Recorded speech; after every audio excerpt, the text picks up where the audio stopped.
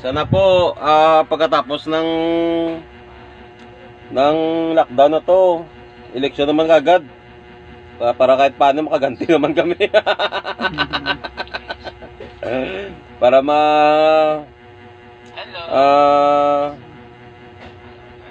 Thank you.